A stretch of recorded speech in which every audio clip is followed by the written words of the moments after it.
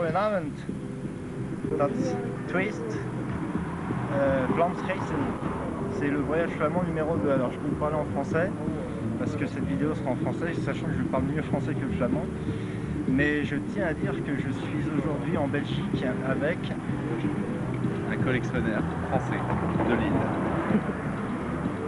Voilà, et que nous allons euh, faire une vidéo sur notre voyage en Belgique et dans le nord de la France. Alors nous sommes à la terrasse d'un café typiquement belge. Voilà. Et that's the Vlaamsreizen Alors déjà, 2. le chocolat et la lèvre et la gaufre avec Ah, merci. S'il vous plaît. Merci. Mmh, c'est bon ça. hein. Le chocolat belge est meilleur que le chocolat français, je tiens à le préciser. Avec une bonne petite bibine de Alors, la est-ce qu'il est Belgique. J'attends que tout le monde soit servi quand même. I can wait. Ja. hum. That's for Vlaams person. I can speak Vlaams een beetje. Je peux parler un petit peu flamand si vous voulez. C'est un honneur pour moi d'être ici poser quelques questions sur les lampadaires à notre ami collectionneur. Collectionneur, Louis Lemont, collectionneur euh, d'éclairage public depuis maintenant 6 ans, du nord de la France. Et alors, qu'est-ce qui, qui te plaît plus dans, dans- dans l'éclairage public? Bah, dans l'éclairage public, ce que j'aime bien, c'est, euh, on va dire que c'est inaccessible pour le public. On va dire que moi j'arrive à les récupérer, mais c'est assez compliqué à récupérer. Donc euh, d'un côté, c'est le côté atypique aussi de la chose qui m'intéresse parce que on est sur des luminaires euh, de base non collectionnables.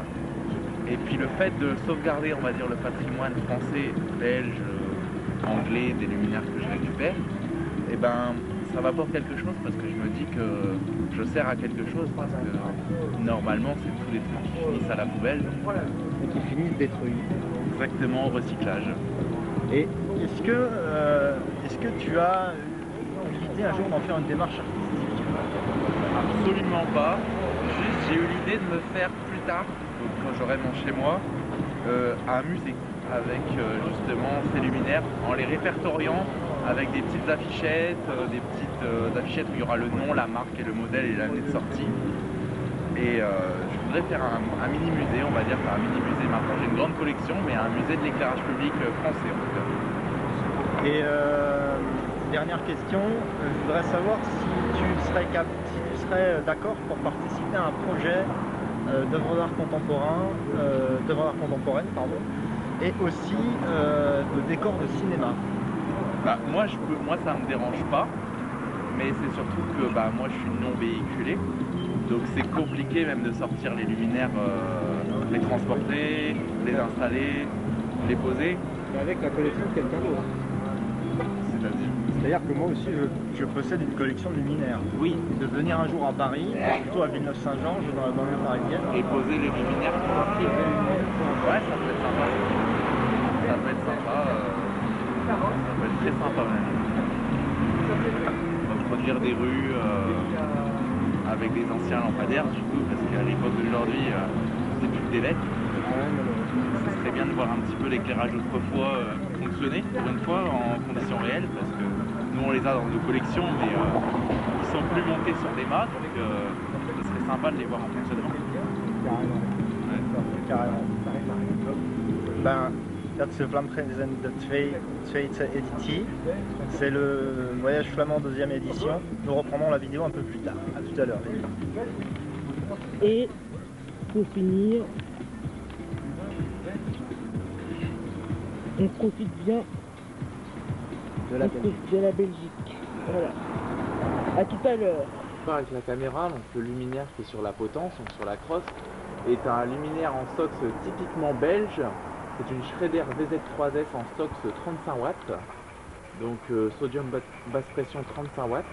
Donc c'est un luminaire euh, qui est comme, euh, on va dire, la pilote en France. C'est un luminaire qui est énormément posé en, Belgique. C'est un luminaire emblématiquement belge, mais malheureusement il est assez désinstallé au profit de la LED euh, actuellement, donc tout part à la poubelle. We zijn een beetje men we're from in France. Nu. Ça veut dire, sommes encore en Belgique, mais nous allons retourner en France pour continuer la vidéo. Donc c'est le voyage flamand, français flamand. A tout à l'heure. Comme Vous pouvez le voir, il y a beaucoup de tabac ici.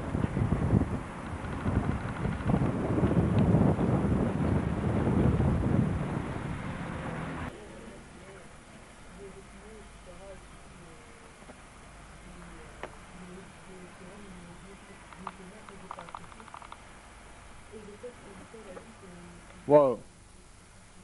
Et voilà. Le mât est plié. On va mettre le câble. Et là on a accès au luminaire. Et on peut faire la maintenance. euh, on peut changer l'ampoule. euh, Voilà. Là, tu- veux mettre quoi comme ampoule par exemple? Bah là je laisse euh, de la iodure euh, 150 watts. solaire 400 euh, en iodure 150 watts. Ça éclaire plutôt pas mal. Un joli luminaire. On va le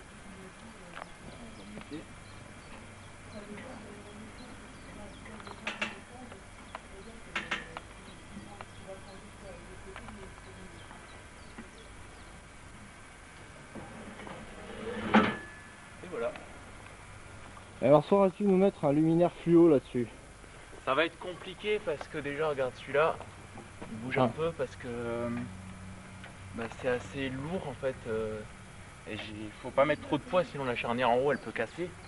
Comme le mât en plus il est vieux, il est rouillé, ça va être compliqué. J'ai pas envie de casser le bas ni le luminaire fluo. Déjà là, euh, la solaire c'était déjà assez lourd. Avant c'était quoi une VM D'origine sur ce mât c'était une Philips Krilat. Donc un luminaire assez léger. Oui, c'est léger. ouais. en sodium 70 watts. Donc euh, c'est pas fait pour. En fait c'est des max, c'est pas fait pour, pour des gros luminaires de base. C'est fait pour des petits luminaires. euh. La SNCF utilisait beaucoup ce genre de mât. Ou alors sur les aéroports comme à Orly, il y en a. Avec des petites Schrader Z1.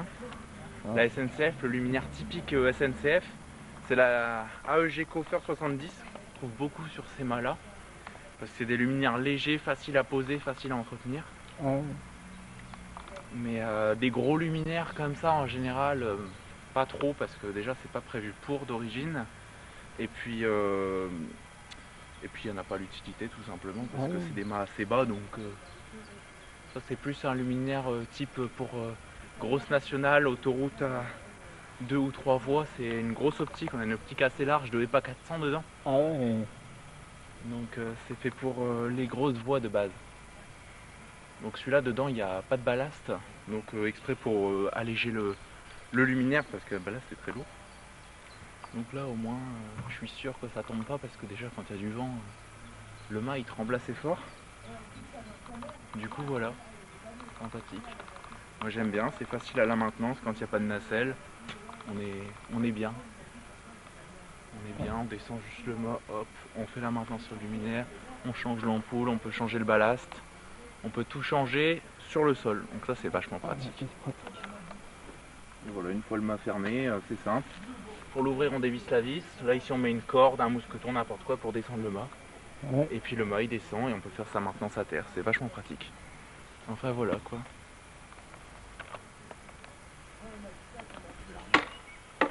Une ampoule avec une ampoule rétrofit. Voilà exactement, mais elle n'est pas branchée en bas, hein, donc euh, elle fonctionnera pas. Ça donc c'est une pilote. Mais si tu veux attendre et filmer, je peux te l'allumer, mais ça se passe dans le garage. Donc euh, je vais. Il n'y a pas de souci. Tu peux, tu peux soit rester en caméra pour voir l'allumage. Ouais. Ça va clignoter.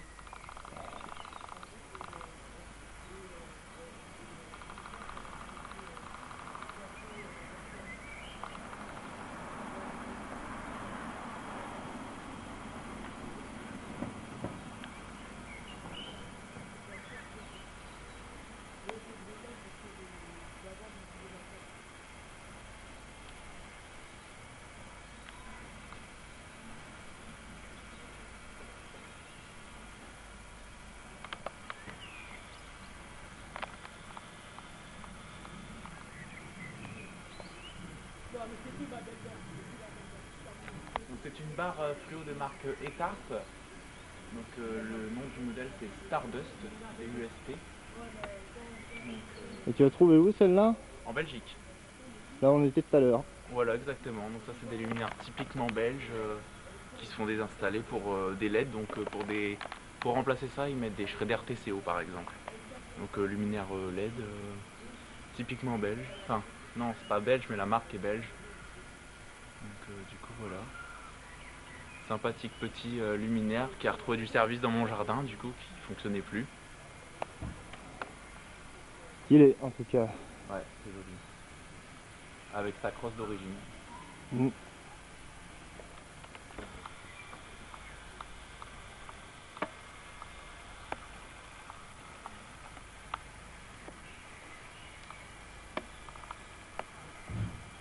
Là,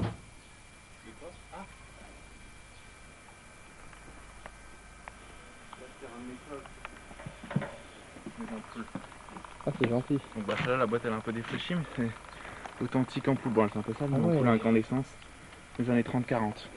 Ah oui, carrément. Donc on a deux, regarde 120 volts, 300 watts, c'est écrit dessus. 300 watts. Ah, ça ça éclaire. Elle t'a acheté des starters. C'est gentil. Ah, je regarde euh, la composition, les petits starters. Mm.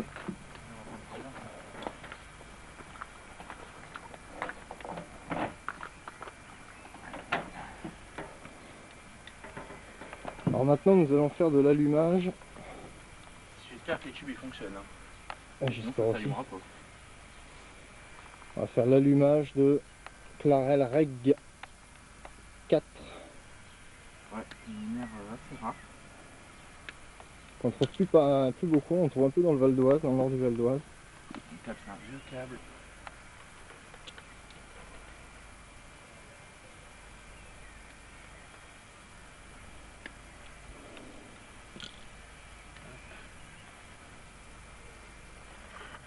Pas si je vais pouvoir le tester parce que il se craque le câble à l'intérieur. Il frappe Ouais, regarde, il y a le cuivre qui apparaît. Ah oui. C'est tellement vieux.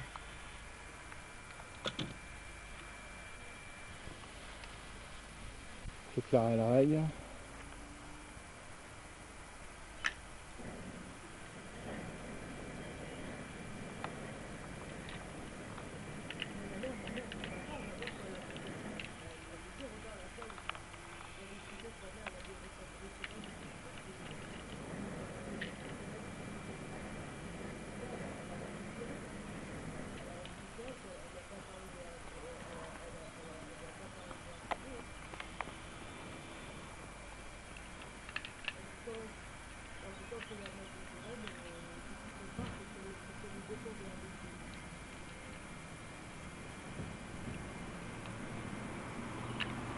J'espère qu'à l'intérieur ça va parce que si ça pète, mon père il va gueuler. Putain, je vais prendre une bourre. Ça marche. Ah, le câble il est vieux. Mais ça marche. Ça marche? Ouais, j'ai touché le. J'ai touché l'électricité. Ah. Ouais bon ça arrive. Les deux tubes marchent en plus. Les deux tubes fonctionnent et ils sont en bon état. Et ils sont en bon état. Ouais, ils sont pas noirs et tout.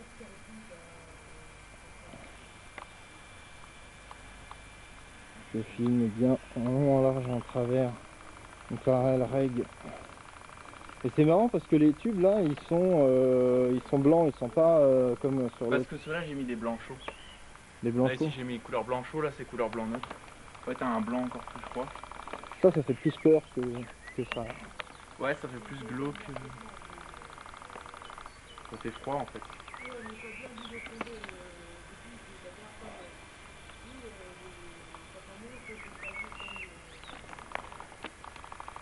Et bah ça fonctionne. Ouais. Donc euh, à mon avis quand ça a été désinstallé ça fonctionnait encore. Mm. Ils ont désinstallé ça pour des LED mais ça fonctionnait encore bien. Tiens, du coup.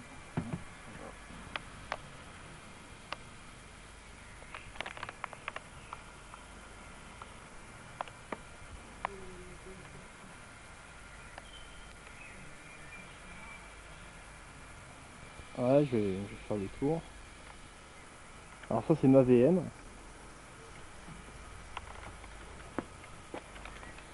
Avec une ampoule dedans. 300 watts. 300 watts.